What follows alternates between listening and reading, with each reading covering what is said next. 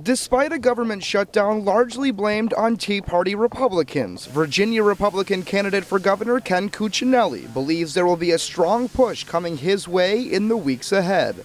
In these odd years, our voters pay attention late, and uh, this happened to me in 2009.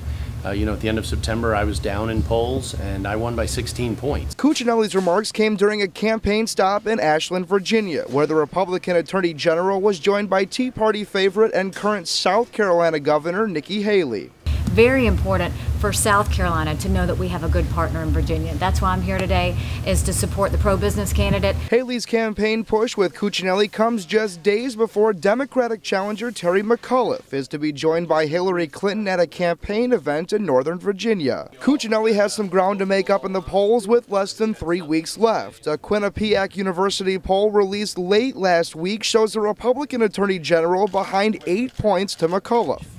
I have plans, not merely platitudes, which is a difference in this race.